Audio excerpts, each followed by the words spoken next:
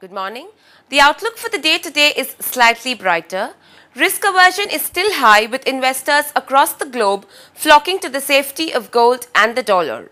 At the same time, stocks and commodities are showing some signs of staging a comeback.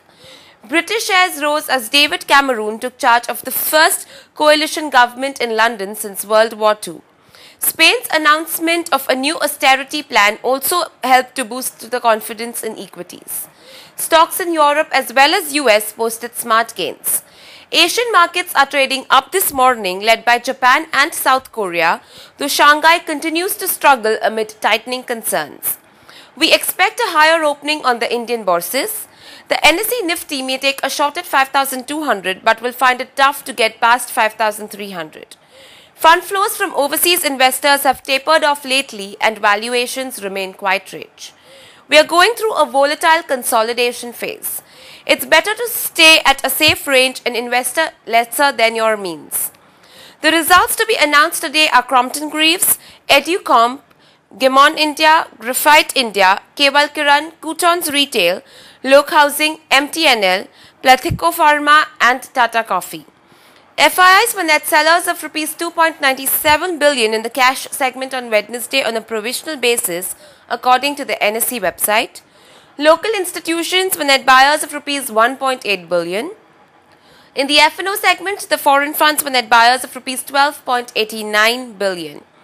The revenue from 3G spectrum sale has touched rupees 584 billion on the 20th day of the auction. India's factory output grew by 13.5%, registering sixth straight month of double-digit expansion. Reliance Power may build gas-fired plant in Andhra Pradesh instead of Dadri after the Supreme Court verdict. Reliance Infrastructure slams Tata Power for continuing to sell 100 megawatt outside Mumbai, defying the recent Maharashtra government decision to make a profit of rupees 3 billion annually. Titan Industries plans to expand its reach by adding 300 outlets in big and small cities shortly. Moving on to the recommendations, the technical calls are a buy on Jubilant Organosys. Traders are recommended to buy the stock at levels of rupees 360 to rupees 367 for a target price of rupees 385 and a stop loss is to be placed at rupees 355. And a buy on Kotak Bank. Traders are recommended to buy the stock at current market price of rupees 768. A stop loss is to be placed at rupees 754, partial profits to be booked at rupees 795 and an exit to be done at rupees 800.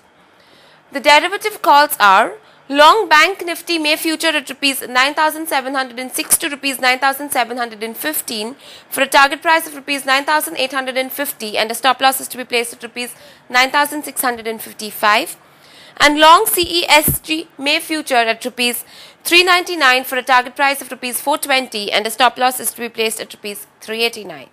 Thank you and have a great day ahead.